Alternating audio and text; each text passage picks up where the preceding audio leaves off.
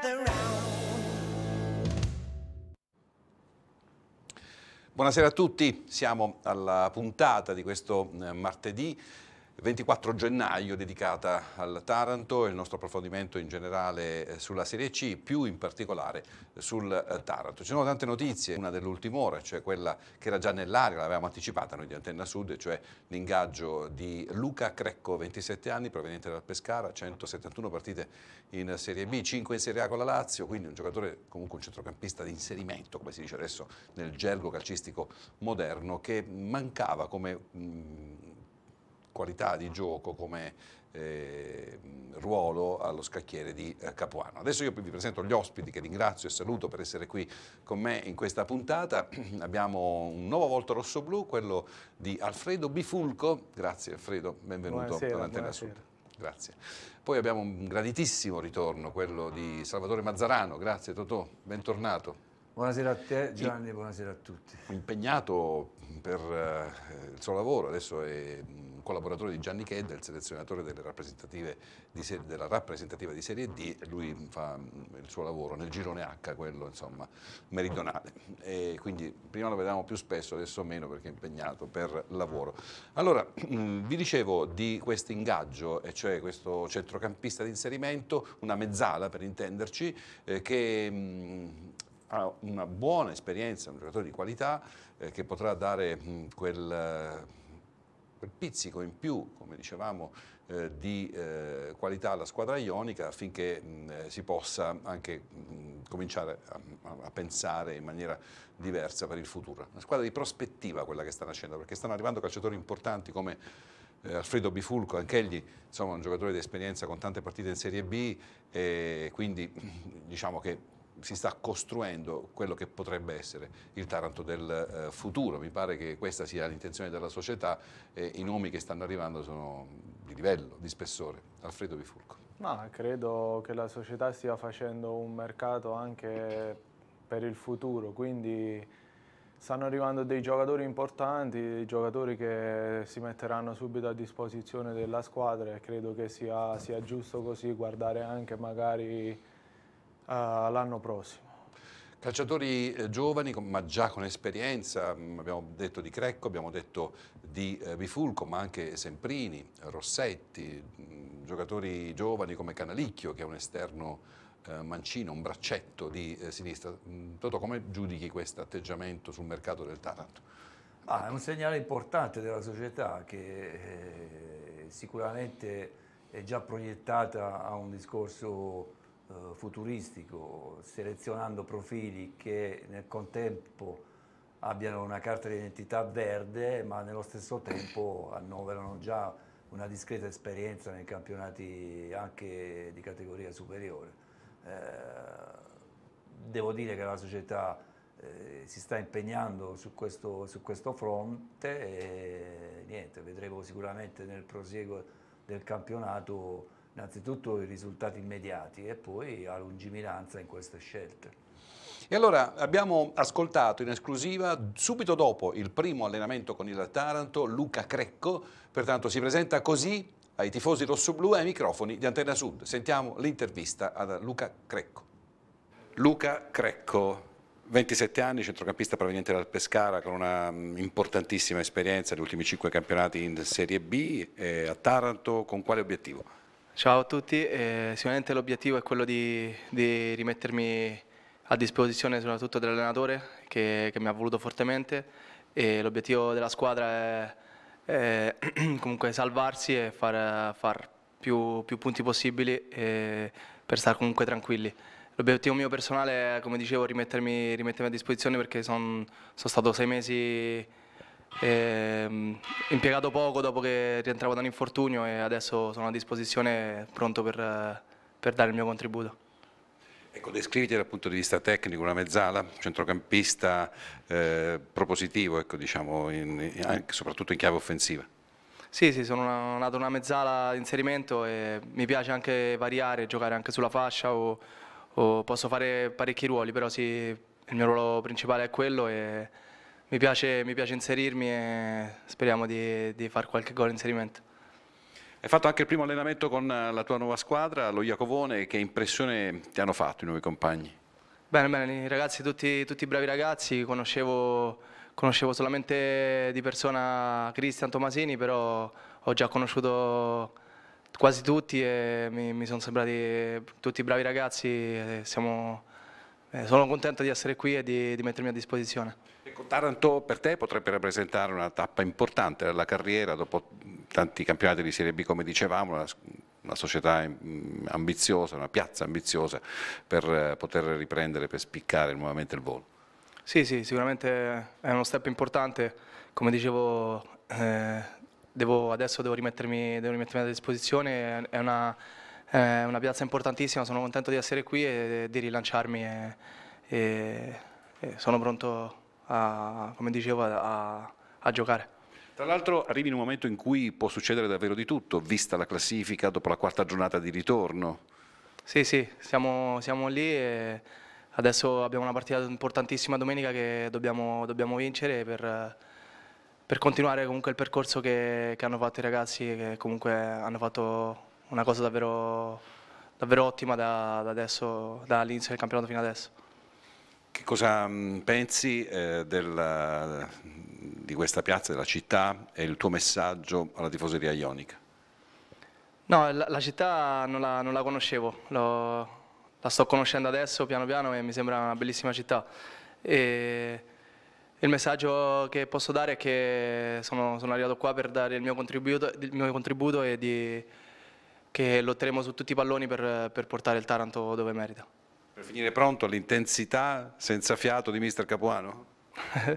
sì, sì, eh, il mister già oggi ho visto il ritmo dell'allenamento, è un mister che comunque tiene, tiene molto, alta, eh, molto, alto il ritmo de, dell'allenamento, quindi sono contentissimo e sono, sono davvero contento di essere qui.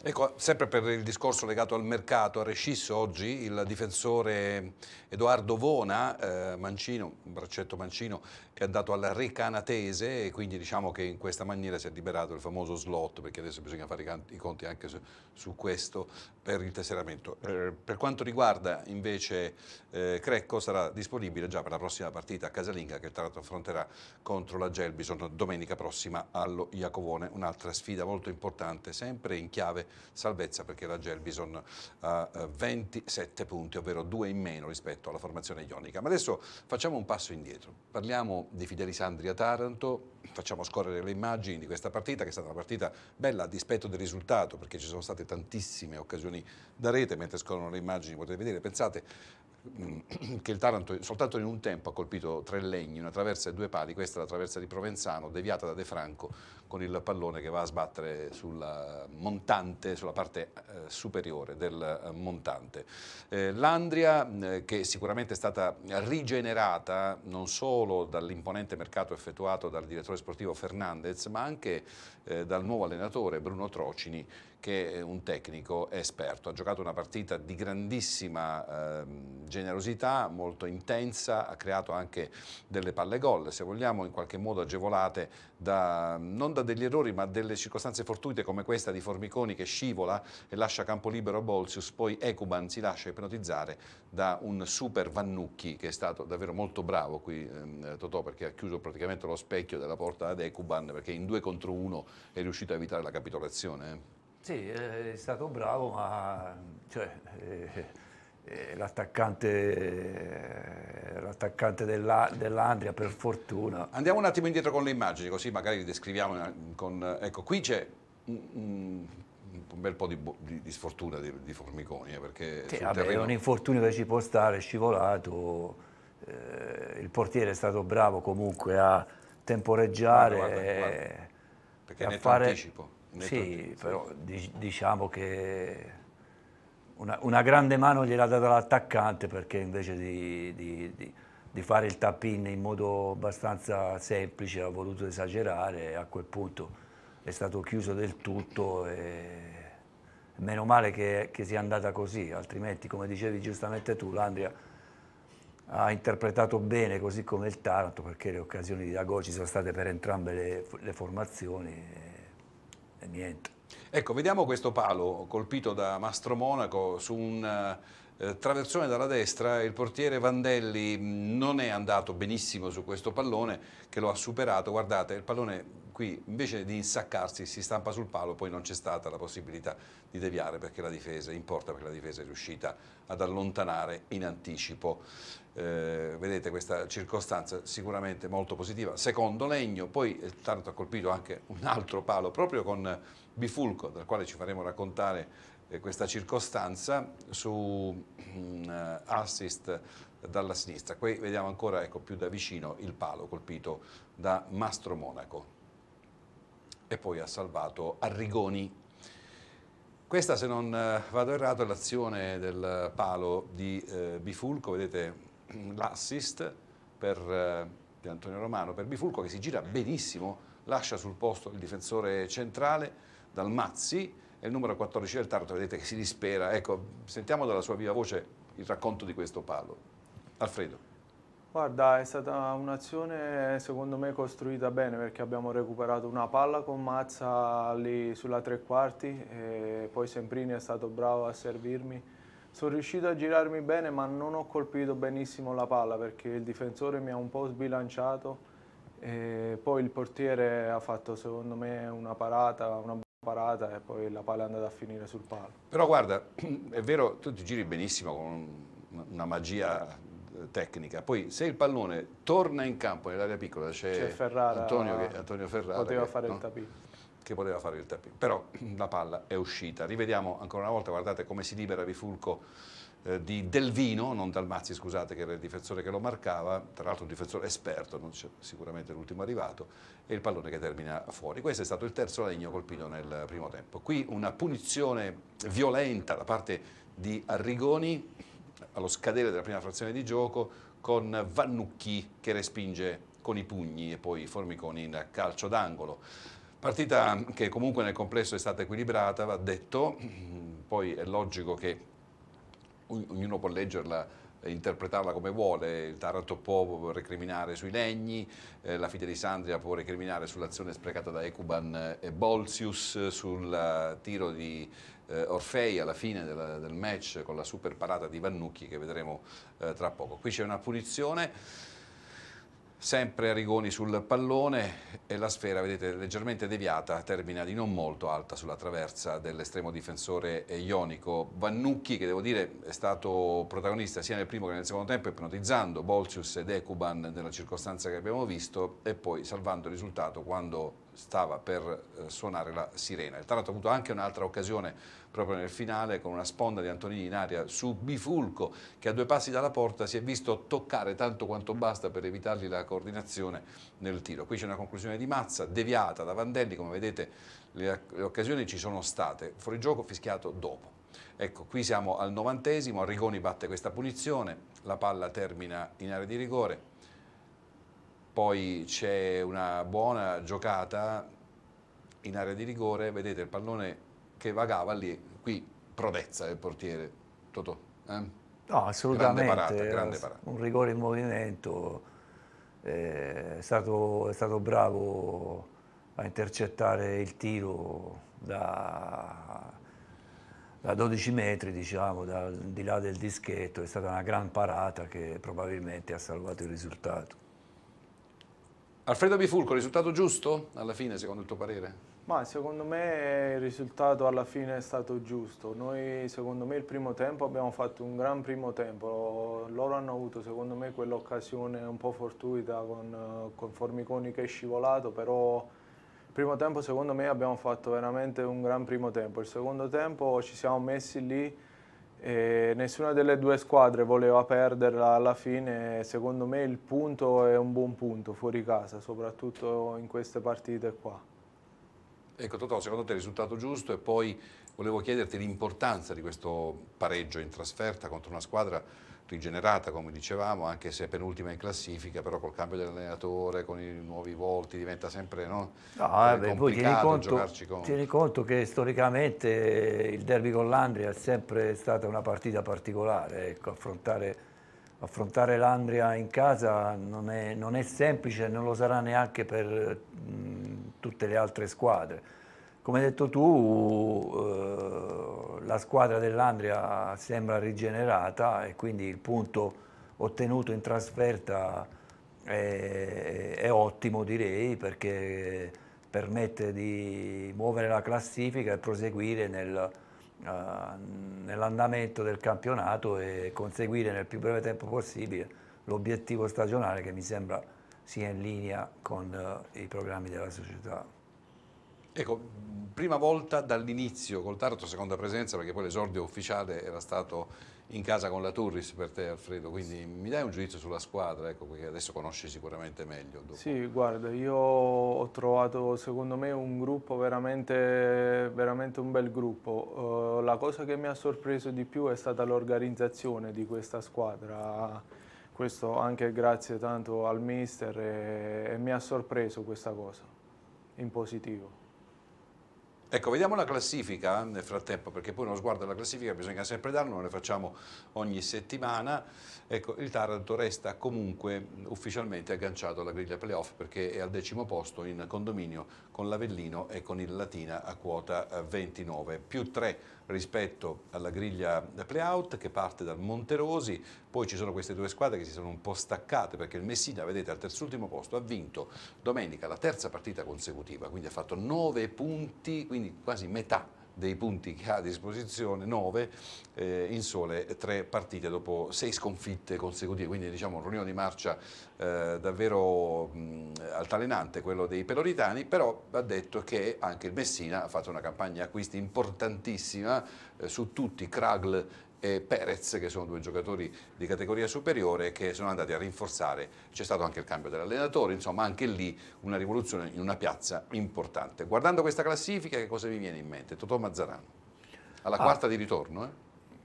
Innanzitutto eh, approcciare la partita di domenica che mi sembra un appuntamento da, da, non, da non, fallire, nel senso che eh, nonostante il Taranto sia a due punti dalla zona dalla zona playoff comunque è un appuntamento da, da, da sfruttare a, alla grande quello casalingo con, con la, con la Gelbison.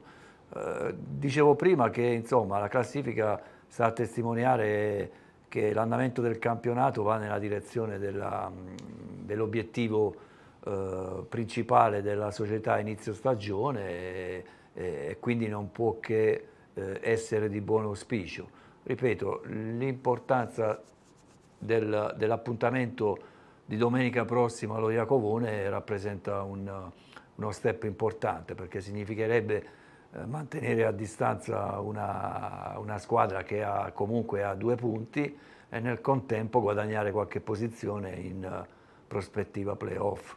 Ci sono otto squadre in tre punti, vedete dal Giuliano che ha 30 punti fino al Gerbison ci sono uh, otto squadre, che sono tantissime, in soli tre punti, vale a dire vincere una partita significa rischiare sì, sì. Di, di, scalare otto posizioni in classifica, no? questo... Vincerne due significa quattro, scalarne quattro, vincerne tre come ha fatto il Messina significa proiettarsi verso le zone altissime. Ecco, una classifica che comunque permette di eh, scalarla eh, conseguendo un paio di risultati eh, pieni dove regna inevitabilmente grande equilibrio.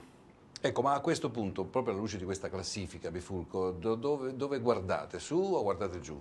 Ma sicuramente noi dobbiamo guardare sia giù che su, però questa secondo me, come ha detto anche Salvatore, è una partita importantissima per noi, anche perché poi dopo tre giorni giochiamo subito di nuovo col Foggia e quindi abbiamo tre partite in una settimana, ma secondo me la, la più importante è questa qua con la Gelbis. Ecco, volevo sentire Capuano perché poi è sempre mm, piacevole ascoltarlo, anche se l'intervista è quella che abbiamo registrato subito dopo la partita, l'abbiamo mandata in diretta durante la nostra trasmissione di Tribuna Centrale, se la regia è pronta, curata da Gianfranco Melillo come sempre, possiamo ascoltare le dichiarazioni del tecnico rossoblu.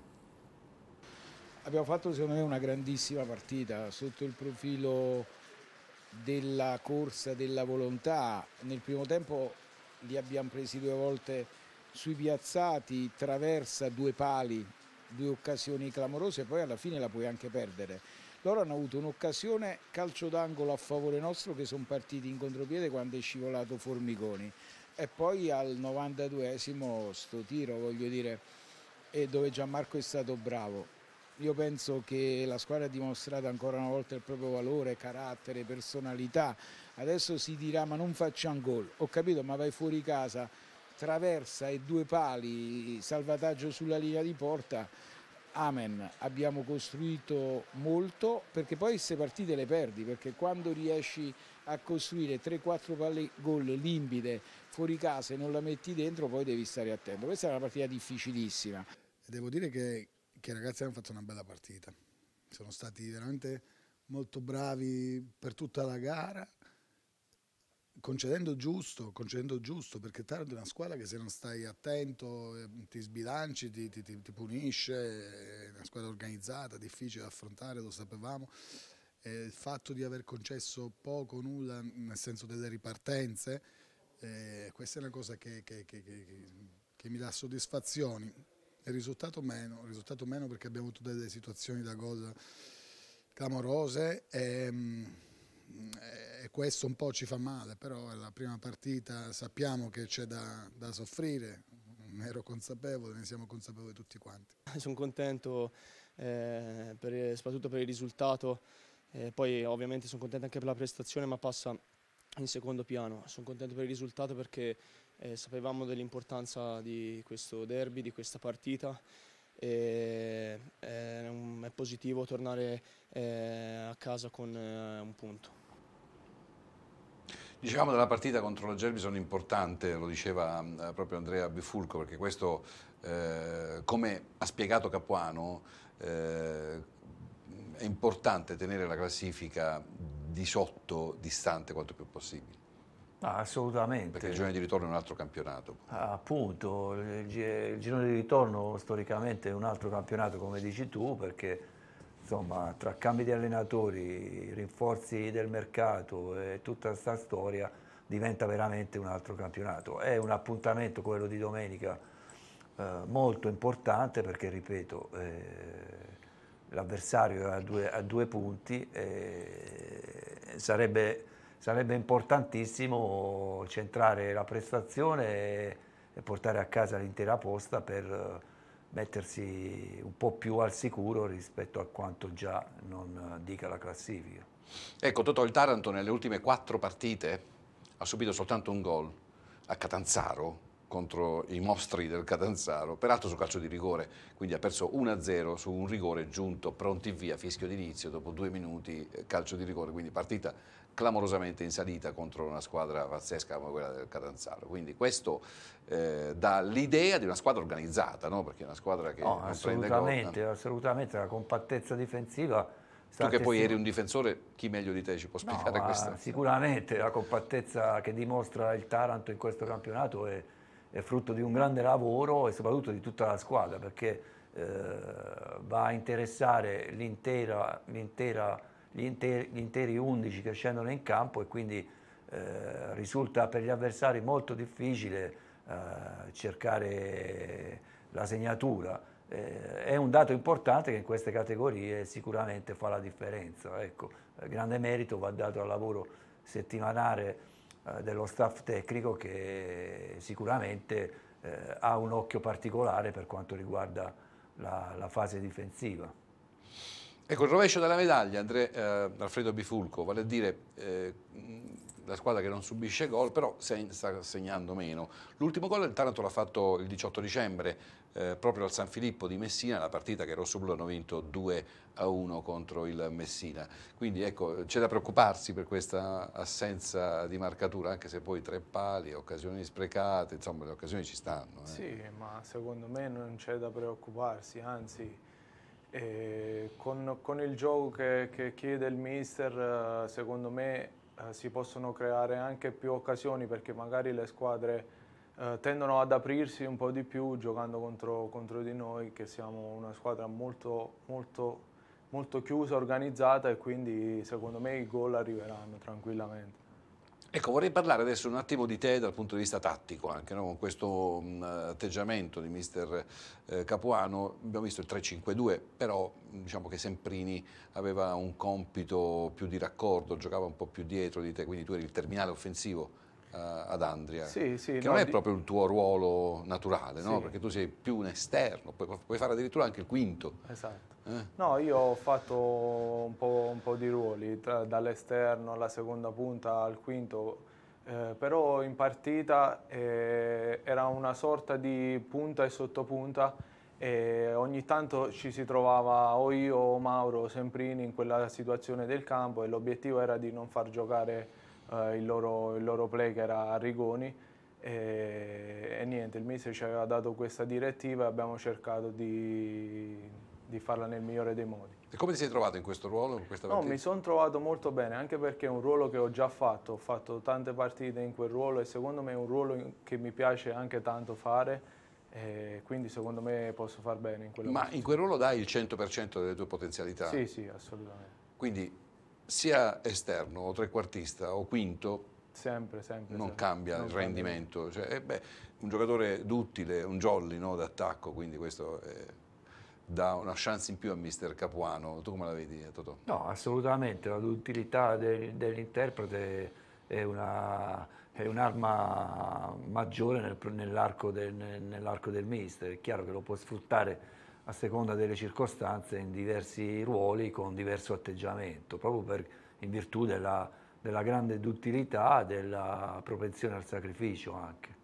Allora facciamo così, eh, torniamo un attimo a parlare del mercato perché effettivamente il Taranto in questo mese di gennaio ha fatto molte operazioni di mercato, sono arrivati giocatori importanti, molti se ne sono andati come per esempio Infantino, De Maria che incontreremo proprio domenica prossima perché sono andati, scusate, Ferrara, eh, scusate ancora, quindi Granata. Infantino e Granata, Ferrara è il capitano, eh, mentre De Maria anche è andato via, giocatori comunque importanti, eh, di spessore che avevano fatto la differenza nella passata stagione. Vediamo mh, mm, come è cambiato il Taranto nella scheda che ha realizzato per noi Vito Di Noi.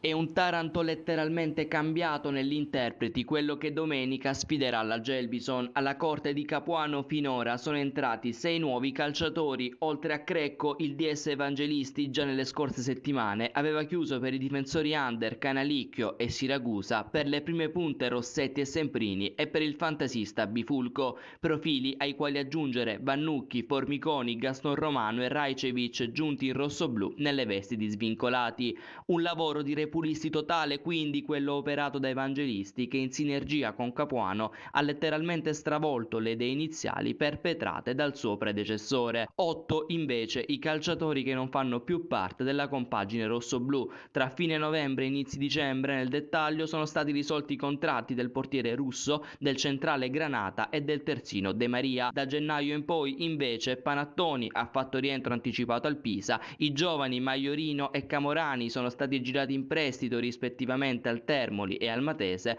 mentre per Guida e Infantino, sempre in prestito, si sono spalancate le porte di due club campani, Turris e Gelbison. Al passo d'addio anche Bona, Brandi, Sacoa e Forza e Gaston Romano. Tra poco meno di una settimana il gong, dopodiché il Taranto si tufferà a capofitto in tre mesi di fuoco, nei quali provare a gettare le basi per conservare la categoria otto giocatori in uscita, altrettanti in entrata, no? è una rivoluzione importante considerando che la rosa del Taranto non è stata mai eh, molto ampia, adesso siamo a poco meno di 20 calciatori, quindi diciamo che è quasi metà rosa che è stata sostituita, che è stata cambiata.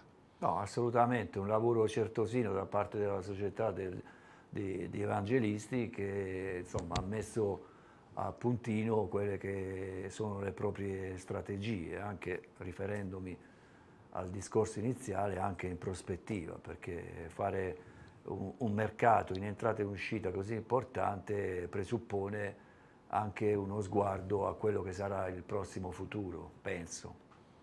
Ecco, vedete questa grafica che ci propone eh, Gianfranco Melillo, le operazioni di mercato del Taranto a gennaio. Eh, abbiamo in entrata allora, Canalicchio, che è un difensore a titolo definitivo dalla San Maurese in Serie D, poi Siracusa, altro difensore svincolato, Crecco, che è un centrocampista, una mezzala a titolo definitivo dal Pescara, Bifulco, che è un attaccante a titolo definitivo dal Padova, poi Rossetti, un altro attaccante in prestito dal Renate, formazione di Serie C settentrionale, Semprini, attaccante a titolo definitivo dalla uh, Lucchese. Quindi questi sono gli ingressi, sei, mentre in uscita Russo, il portiere al Real Agora Versa, De Maria che è rimasto svincolato, ancora non si è accasato da nessuna parte, poi Granata che troveremo domenica prossima con la Gelbison, tra l'altro eh, sarà sicuramente utilizzato da mister De Sanzo perché eh, è stato squalificato Gilli, un braccetto mancino della squadra di Vallo della Lucania, pertanto Granata, che è anche mancino, giocherà sicuramente titolare.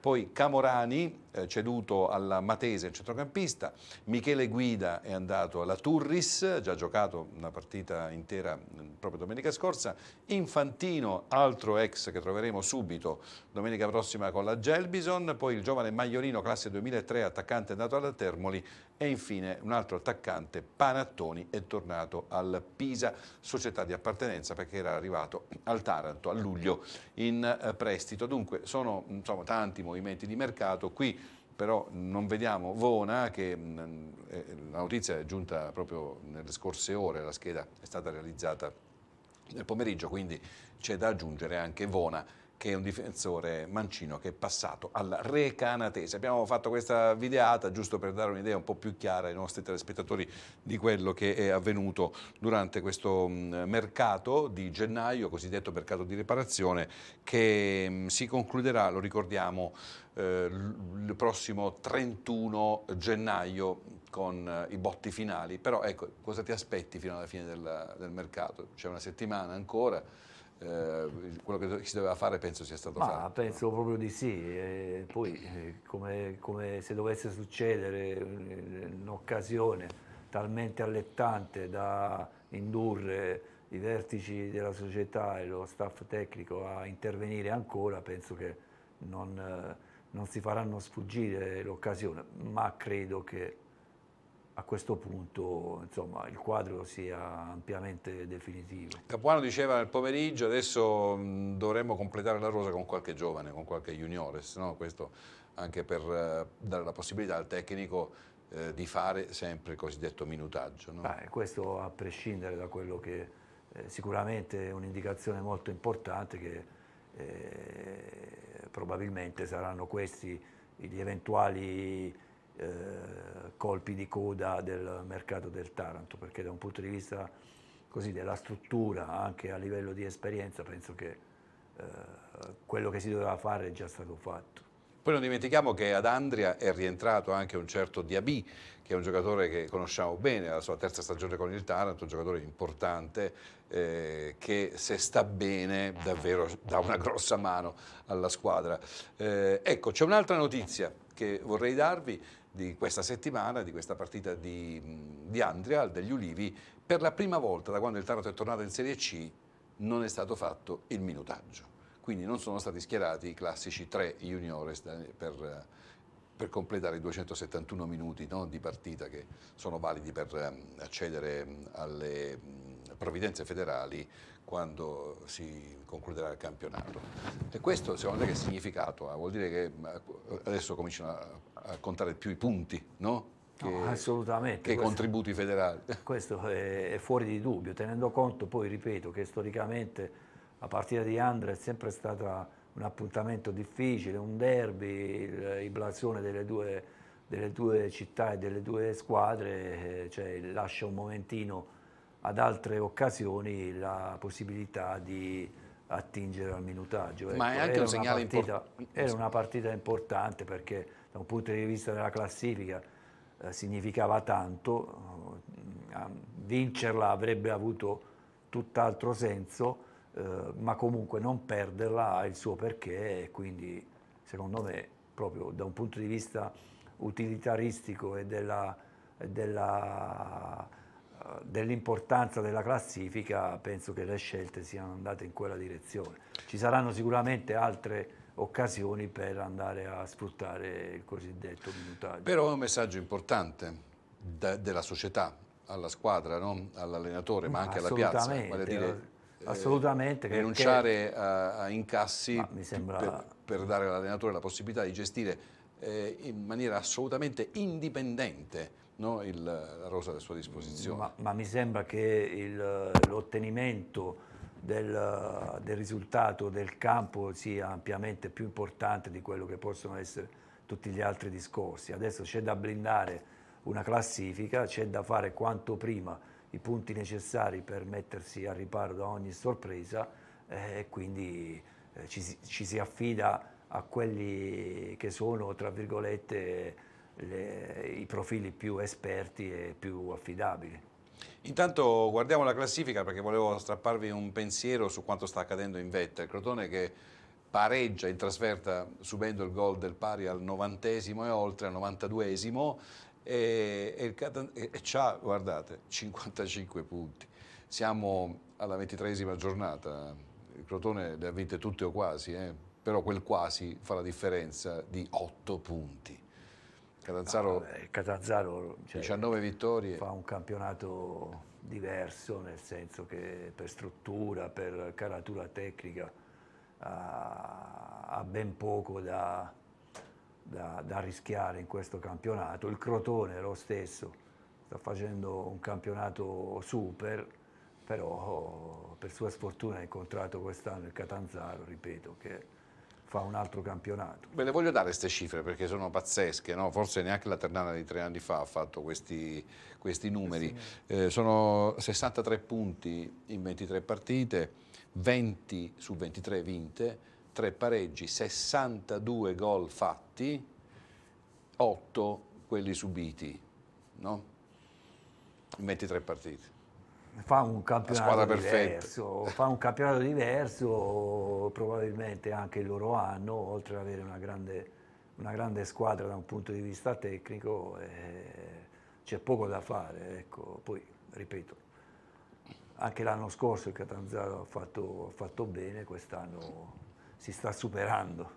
Senti, diamo invece uno sguardo alla parte bassa della classifica, dove c'è una Turris incomprensibile perché ha un organico, l'abbiamo detto tante volte, di, da, da, da playoff nei primi cinque posti, però si trova al quartultimo posto in una situazione difficilissima, a quota 23 non vince da tante settimane, eh, ha subito 39 gol, che non sono sicuramente pochi, ed è lì in difficoltà, ha vinto soltanto 5 partite. Poi c'è la Virtus Francavilla, altra squadra che era stata costruita in estate con... Eh, l'intento di arrivare nelle parti altissime della gradatoria e invece eh, si verifica una situazione strana, forse come non mai, almeno a memoria d'uomo non ricordo, vince in casa tutte le partite, perde fuori tutte le partite. Come si spiega questo, eh, questo fatto? Una bella domanda. Eh, eh, probabilmente il fatto, il, il, la partita in trasferta eh, riveste un, un, un ostacolo un po', un po', alto da superare a, per quest'anno è una questione eh, di, mentalità, di carattere, di, è sicuramente una questione di testa più che altro. Di, è una ecco. questione di, di, testa, di atteggiamento, perché in casa comunque riesce sempre a centrare la prestazione, a portare a casa anche risultati eh, importanti. Eh, fuori casa probabilmente non ha quel piglio che negli anni scorsi magari è stato segno distintivo delle squadre di Antonio, perché comunque eh, Calabro fa della compattezza difensiva anche lui un, un, un biglietto da visita importante. Poi sai, sono annate anche Gianni e quest'anno gira così. Allora, mentre il calendario del Taranto prevede per domenica prossima, come dicevamo, alle 17.30 Taranto-Gelbison, poi la prossima trasferta dei rossoblù sarà eh, nel turno infrasettimanale l'1 febbraio in un bellissimo derby che è quello dello Zaccheria di Foggia, quindi si giocherà Foggia-Taranto che è una partita che ci richiama no, alla memoria sfide importanti giocate eh, in Serie B. si giocherà alle 21, questo è l'orario prestabilito, e la partita sarà trasmessa in diretta, in chiaro, da Antenna Sud, quindi potete seguire questo bellissimo derby sulle nostre frequenze sul 14 del digitale mm, terrestre. Poi eh, in casa con il Latina. Dunque, allora, Alfredo, Gelbison e Latina in casa, Foggia in trasferta, tutte d'un fiato perché in mezzo c'è eh, il turno infrasettimanale, domenica, mercoledì, domenica. Sì, sì, assolutamente, ma come ho già detto prima, secondo me noi dobbiamo adesso pensare partita per partita e credo che questa qua con la Gelbison sia la più importante delle tre. E, e poi ovviamente il calendario è quello là e bisognerà fare maggior punti possibili in qualsiasi partita. Poi c'è un'altra nota di cronaca, no? statistica, che forse ad Andria per la prima volta non ci sono state lamentele nei confronti dell'arbitro, mi pare che, sia, che sia andato tutto per il verso giusto, no? Con il signor sì, Bonacina stato, sì, assolutamente. di Bergamo. L'arbitro credo abbia fatto un'ottima gara, quindi non vedo il perché ci dovevano essere Una volta delle, tanto. delle polemiche. Una volta tanto, assolutamente, perché Taranto si è molto lamentato nel corso di questo campionato, soprattutto nel giorno di andata, eh, ma anche nel giorno di ritorno, vedasi eh, la partita di Catanzaro, dei direttori di gara. Questa volta tutto bene. Complimenti al signor Bonacina. Ci caliamo adesso nel prossimo eh, turno, e cioè quello che vi dicevo, Taranto-Gelbison, si giocherà allo Iacomone alle 17.30 di domenica, sfida molto importante, eh, che per la prima volta viene giocata in un campionato professionistico in Serie C tra le due squadre, si erano affrontate in passato ma sempre in Serie D.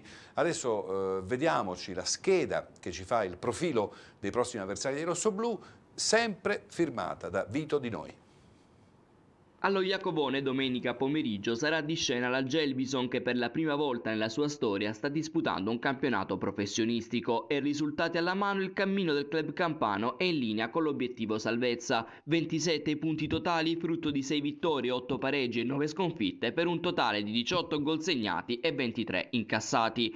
I rossoblù sono inguidati in panchina da Fabio De Sanzo, fautore del 3-5-2, oltre che profilo esperto della categoria che già in passato è stato in grado di conquistare la permanenza in C al timone della Paganese a sua disposizione un gruppo composto da individualità interessanti. Fornito è senz'altro l'elemento più talentuoso, ma anche Caccavallo, Correnti, De Sene e Tumminello sono profili importanti per la categoria, al pari del difensore Granata e dell'attaccante Infantino, entrambi recenti ex del Taranto e che domenica faranno ritorno in Rivallo Ionio nelle vesti di avversari. Allo Iacovone si contano tre precedenti tutti in Serie D, due le vittorie del Taranto e un pareggio, mentre la sfida dell'annata 2019-20 non si è mai disputata a causa del Covid. Secondo te, Alfredo Bifulco, quali sono le insidie maggiori che nasconde questa partita contro la Gelbison? Ma sicuramente sarà una partita tosta per tutte e due, tutte e due le squadre Credo che loro sono in un momento anche abbastanza buono e quindi farà, cioè, faranno di tutto per, per provare a portare un buon risultato a casa.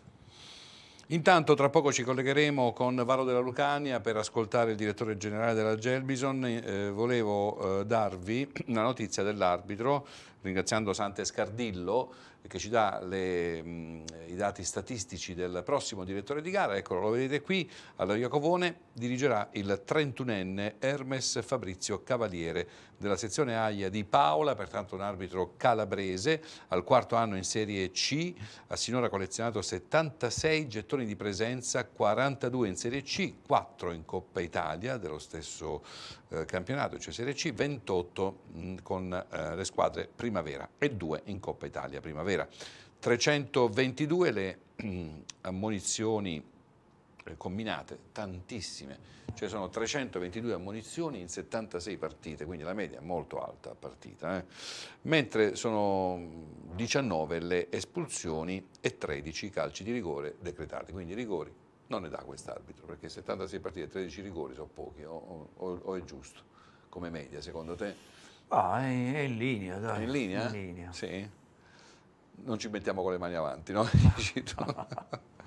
allora, un precedente con i rossoblù, eh, Taranto-Savoia 1-0, campionato 2018-2019, poi eh, prima volta con i Lucani, 4 le gare dirette nel girone C di questa stagione dall'arbitro che lo vedete molto giovane, 31 anni, il signor Cavaliere di Paola, eh, 4 le gare dirette come dicevamo, Messina Viterbese 1-1, Latina Avellino 1-0, Cerignola Turris 2-1 e Monopoli Virtus Francavilla 1-0. È stato impegnato di recente nella semifinale d'andata di Coppa Italia di Serie C Foggia Juventus Next Gen Next Generation 2 a 1.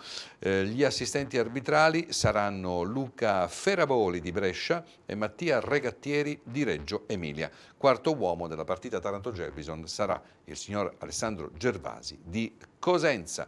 E quindi sono queste le notizie statistiche sulla quaterna arbitrale che ci fornisce Sante Scarrillo, che salutiamo e ringraziamo.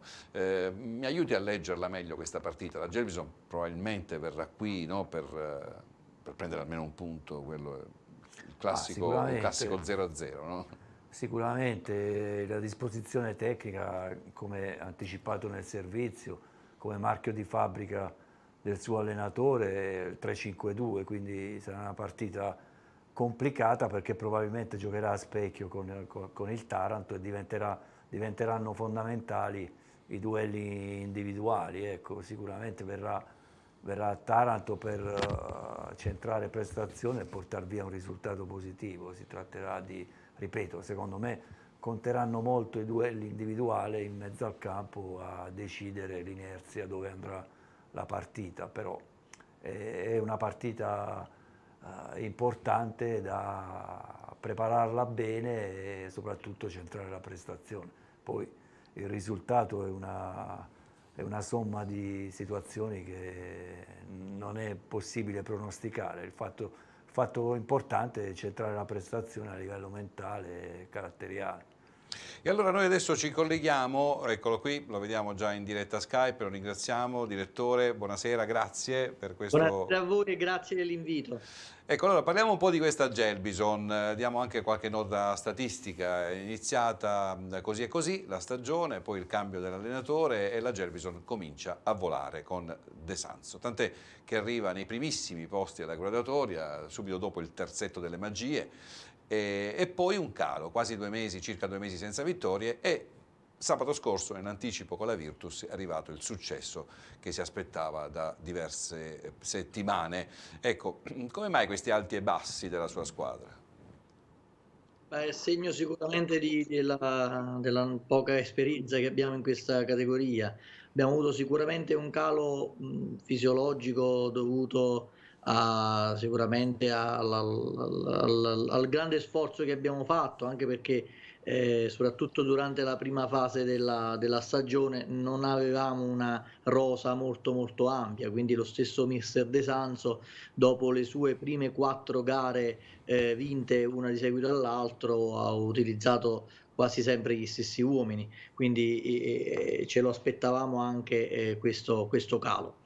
Eh, per fortuna dopo 8-9 risultati eh, in cui la, la, la vittoria non, non, arrivava pur giocando bene eh, che probabilmente nell'arco di questa stagione forse una sola partita siamo entrati malissimo in casa contro il Monterosi poi per il resto mh, mm, eh, abbiamo battagliato sempre onestamente. Eh, sabato abbiamo giocato bene su un campo difficile com, inteso come, come terra battuta diciamo come un'erba molto pesante eh, aveva piovuto tantissimo quindi era difficilissimo giocare naturalmente sia per noi che per il Virtus Francavilla eh, una vera battaglia, siamo riusciti a vincerla eh, anche con l'aiuto dei nuovi innesti e speriamo di continuare questa, questa striscia positiva. Ecco. Che poi i nuovi innesti sono entrambi ex Taranto, no? mi riferisco a Granata e Infantino, che ha rivendicato la paternità del primo gol contro la Virtus Francavilla sulla deviazione del numero 9,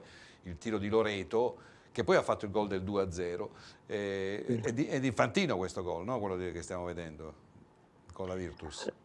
È stato eh, attribuito ad Infantino, però onestamente io lo attribuirei a Ciro Loreto perché lo, lo, lo ha meritato e lo ha inseguito già da tanto tempo. Eh, domenica, eh, sabato meglio, è subentrato anche Tuminello che è un altro, sì, un ultimissimo sì, nuovo acquisto. Crotone, sì. Quindi, però devo dire che sia Antonio Granata sia mh, lo stesso Infantino, insomma, ci, hanno, ci stanno dando una grande mano, sono due ottimi professionisti, due grandi calciatori, quindi siamo veramente contenti di quello che hanno iniziato a fare continueranno sicuramente a dare al nostro gruppo già bello solido. Ecco, parliamo della partita di domenica, qual è la sua chiave di lettura? Beh, domenica è una partita eh, importantissima, eh, delicatissima e difficile perché insomma il Taranto non lo scopro io, che forse sono uno degli ultimi arrivati in, questo, in questa categoria, in questo mondo. Sicuramente c'è da, da, da, da, battagliare, purtroppo abbiamo anche una defianza che Gilli che è stato fermato per un turno di stop. All'ultimissimo secondo proprio della partita di sabato ha beccato l'altra munizione che farà saltare la partita. Però per fortuna, come dicevo prima, abbiamo rispetto alla prima parte del campionato una rosa un po' più ampia. Mister De Sanso ha a disposizione più pedine che dovranno insomma eh, sicuramente eh, fare la partita importante domenica perché già il Tarent è forte in casa poi non ne parliamo proprio è un campo storico quindi siamo davvero onorati anche di venire a Taranto a giocare voi, ecco, volevo affrontare con uh, lei, direttore Ugo Schiavo, che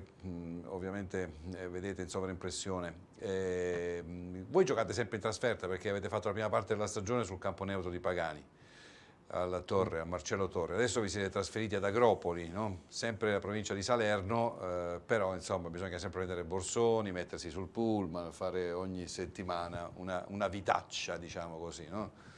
Ne parliamo, parliamo. Vabbè, rispetto a Pagani, onestamente, Pagani era davvero una trasferta perché Pagani eh, partivamo la mattina in albergo, invece Agropoli per fortuna è a 20 minuti, quindi lo, lo raggiungiamo facilmente, onestamente è molto molto molto molto semplice.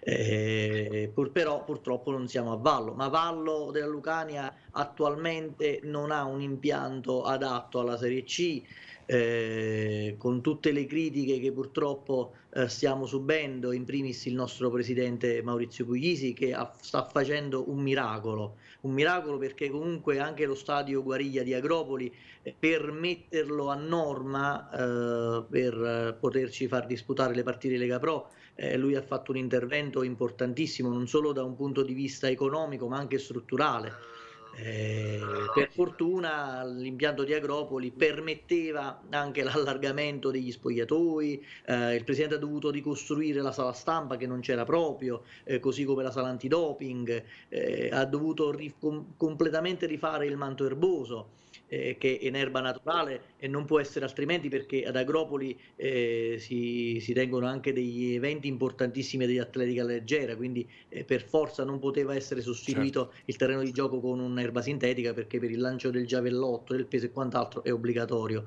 per la federazione di atletica il, l'impianto in erba naturale. Eh, però ripeto siamo a 20 minuti scarsi da Vallo della Lucania e quindi giochiamo più o meno in casa. Ci ospitano ci i nostri cugini dell'Agropoli eh, e li ringraziamo anche per questo. Certo certo ci può stare. Eh, che cosa temete di più di questo Taranto? Tra l'altro anche rivoluzionato come abbiamo visto poco fa dagli innesti di questo mercato di gennaio. Oggi è arrivato Crecco questo giocatore con 171 partite in Serie B e 5 in Serie A eh beh, è un giocatore che assolutamente non si discute, ma tutto il Taranto, tutta la struttura Taranto oh, che è, è, è, magicamente magistralmente eh, guidata da una nostra conoscenza storica che è il mister. Quindi è una partita, di, ripeto, difficile, sicuramente la sbloccherà qualche episodio eh, però noi non certo verremo a, a, a, mettere il pullman come si suol dire avanti alla porta assolutamente. Non, non, lo abbiamo mai fatto e forse questo è quello che in molte partite ci ha penalizzato. Come ad esempio potenza, noi abbiamo giocato 12 minuti, poi purtroppo siamo crollati mentalmente dopo un gran gol di Caturano e questa è scaturita la, la, la, sconfitta. Per fortuna questo sabato non c'è stato e spero non ci sarà nemmeno domenica contro il, il Taranto perché mh, una nostra prerogativa sicuramente è quella di macinare molto gioco, molto possesso palla. Eh, abbiamo finalizzato poco, ma ripeto, con gli innesti dei, anche dei due ultimi attaccanti che abbiamo acquistato, insomma, eh, la, la bilancia dovrà iniziare a pendere dalla nostra parte. Ovviamente presumo che sia la permanenza il vostro obiettivo stagionale, anche se la classifica parla di, sol di, soli tre punti dalla griglia playoff per voi, no? Eh sì, no, no, no, dobbiamo assolutamente rimanere, eh, eh, mantenere la categoria, eh, però la classifica è cortissima, se non sbaglio all'ottavo posto ci sono tre punti che ci dividono all'ottavo posto. Esatto. Eh, preferisco guardare avanti perché guardare indietro significa eh, come quando stai a mare, se guardi, guardi l'orizzonte forse vai meglio, se guardi cosa hai eh, sotto i piedi che l'acqua magari alta e non, non tocchi terra è, è più difficile, eh, però è cortissima la classifica, è un campionato molto molto equilibrato, a parte il Catanzaro che, che, che sta facendo un campionato a sé, mh, mm, ma già il Crotone e il Pescara... Mh, mm, non riescono a stare al passo del, della capolista Catanzaro. Per il resto siamo più o meno tutte equilibrate mm, e si vedono dai risultati, ad esempio una Juve Stabia che attualmente è quinta, eh, occupa la quinta posizione, sono due partite che ha perso 3-1 in casa col Monterosi, ha perso anche eh, la partita dello scorso turno, quindi è molto livellato il campionato, quindi si gioca anche sul pareggio, il pareggio basta non perdere, che muovere la classifica è sempre importante a mio avviso. C'è un dato statistico curioso, la Gelbison, eh, che è quindicesima in classifica in questo momento, è la quinta migliore difesa del campionato con 23 reti subite, però è uno dei peggiori attacchi, eh, il secondo peggiore dopo quello della figlia di Sandria. Quindi 23 gol subiti in 23 partite, eh, piazza la Gelbison tra le migliori difese del campionato e I 18 gol messi a segno sono il secondo peggior attacco del eh, campionato. Sono numeri un po' stridenti questi qui però, vero direttore? Assolutamente, quello che dicevo prima, noi per questo abbiamo cercato più o meno qualche attaccante in più in questa sessione di mercato, proprio perché ci siamo resi conto, il presidente e il nostro direttore sportivo si sono effettivamente resi conto che maciniamo gioco, giochiamo, però alla fine non, non finalizziamo. Eh, quindi questo è sicuramente l'obiettivo. Eh, col modulo eh, di cui accennava anche il vostro ospite lì eh, prima eh, è a specchio rispetto al Taranto, un 3-5-2 eh, quasi più classico, eh, però oh, se non hai le punte che magari o l'uomo d'aria di rigore che magari ti fa molti gol, difficilmente riesci a vincere le partite, quindi per fortuna abbiamo già fatto un miracolo con quel punteggio fatto nel girone di andata, onestamente. Infatti era stata davvero sorprendente questa marcia che sembrava inarrestabile a un certo punto del campionato della Gerbison, vinceva tutte, avete vinto anche a Cerignola, insomma, che è un campo inespugnabile. E allora, grazie per questo uh, collegamento, grazie per la disponibilità, direttore, eh, saremo lieti di ospitare lei e la Gelbison a Taranto, come facciamo sempre con tutte le squadre che vengono a giocare allo Iacovone. Grazie. Grazie mille, grazie a voi e ci vediamo domenica, va bene? Eh, tanto siamo tutti rosso-blu, quindi i colori sì. vanno benissimo. è vero, è vero. Grazie al uh, direttore generale Sera. Ugo Schiavo della Gelbison Calcio. Eh, siamo in chiusura, io più o meno in direttura d'arrivo volevo eh, farvi vedere le vignette di Leo Zazza e poi andremo ai saluti finali con eh, Alfredo Bifulco e Totò Mazzarano. Vediamo come abbiamo interpretato eh, il momento rosso-blu, i punti salvezza, vedete a sinistra eh, c'è eh, Trocini, a destra c'è Mister Capuano che a tavola eh, si eh, dividono, o meglio, si prendono a questo punto, dice sono affamato, dice Trocini, vabbè accontentiamoci, replica Mister Capuano. Andiamo avanti perché c'è una giusta eh, celebrazione di eh, Gianmarco Vannucchi, Super Vannucchi, volare o eh, con quel paratone che ha fatto più o meno al novantesimo della partita del, degli Ulivi che ha salvato il risultato e che sarebbe stata sicuramente una, una beffa per il Taranto prendere gol in quelle circostanze. Capuano l'ha detto, certe partite se non riesci a vincere poi devi stare attento a non perderle. Il quarto legno del Taranto e quindi Capuano è rimasto così un po' eh, deluso da questo eh, episodio, che, da questi episodi che si sono verificati, pensate tutti nel primo tempo. Allora, eh, grazie a Leo Zazza che salutiamo, il pensiero finale di Andrea, di, scusate, Alfredo Bifulco. Ma, ti ringrazio Gianni e auguro a tutti una buona Come ti stai trovando a Taranto? Ecco, adesso no, qualche, qualche, giorno in più l'hai avuto no, per vedere sì, la città. Sì, assolutamente. Mi sto trovando molto bene, mi sembra di, di stare a casa. Dai. Tu sei eh, di Sono Ottaviano, Di? San Giuseppe Vesuviano. di San Giuseppe Vesuviano, Sì, quindi esatto. sei napoletano, in Napoletano, realtà. sì, sì. Eh, più o meno Taranto e Napoli sono delle città che si ricordano Esatto. vicendevolmente. Molto, ti, molto. ti trovi a casa. I tarantini? I tarantini anche, dai, credo che si avvicinino molto alla, alla filosofia dei napoletani. Hai già percepito no, l'importanza che ha il calcio a Taranto? no? Eh, Sei Sì, stato riconosciuto per strada, no? sei stato Ma avvicinato. Taranto è una piazza che vive di calcio, quindi sicuramente. Grazie ad Alfredo Bifulco. Il pensiero finale di Totò Mazzarano, magari ecco, il, tuo, ehm, il tuo pensiero su questa partita di domenica prossima.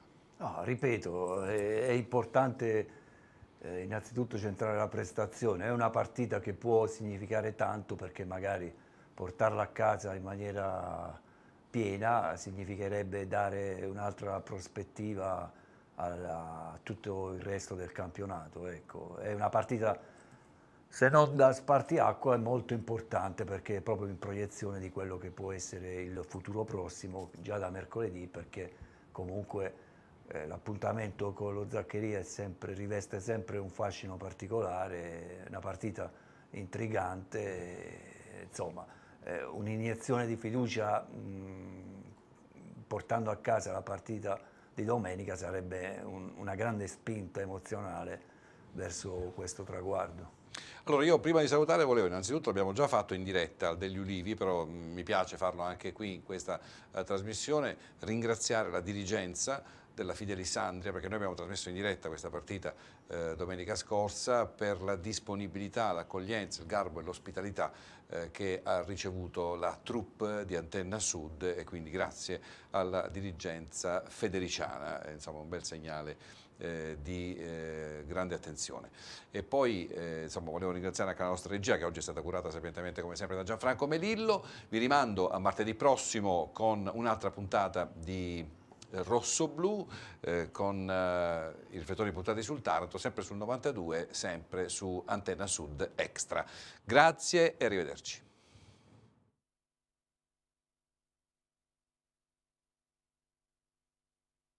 Everybody,